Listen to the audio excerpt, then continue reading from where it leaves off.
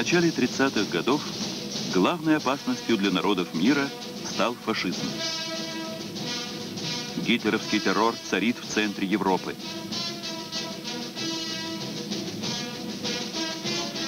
Потоплено в крови выступление австрийского пролетариата.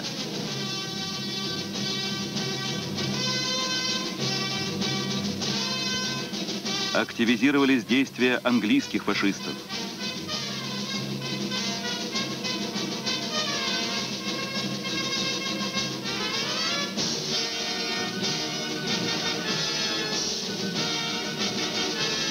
Примеру Гитлера и Муссолини попытались захватить власть фашисты Франции. Но они встретили решительный отпор со стороны рабочего класса. Создан антифашистский фронт. Политическая обстановка требовала новой стратегии и тактики коммунистического движения. 25 июля 1935 года в Москве был созван седьмой конгресс коммунистического интернационала. В его работе участвовали делегации 65 компартий.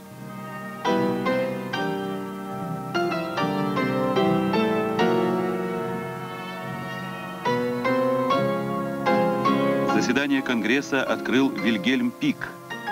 Он обратился со словами приветствия ко всем борцам, заключенным в фашистских застенках.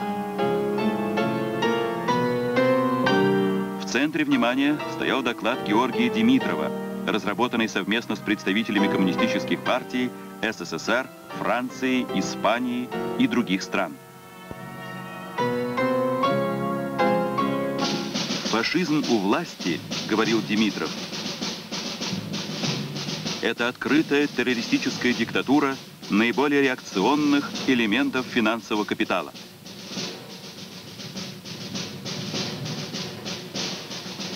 Это необузданная агрессия в отношении других стран и народов.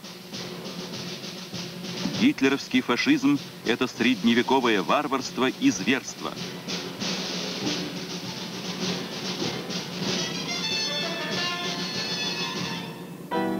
Отпор фашизму может дать только самый широкий фронт демократических сил.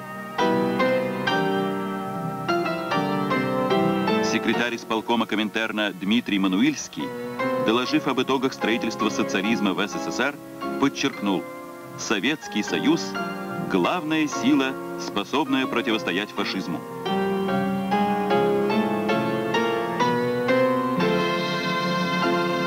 Докладе Пальмира Дальятти, в выступлениях Марселя Кашена, Мариса Тореза звучали призывы объединить все силы, вместе сражаться против войны, организовать единый фронт всех тех, кто хочет защитить и сохранить мир.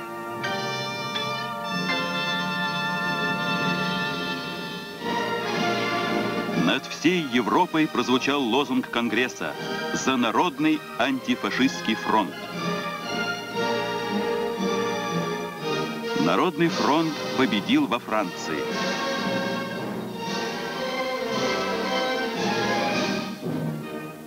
Особенно ярко антифашистская солидарность проявилась в Испании. Интернациональные бригады плечом к плечу с сыновьями и дочерьми испанского народа сражались против фашизма. Идеи седьмого конгресса стали боевой программой Компартии.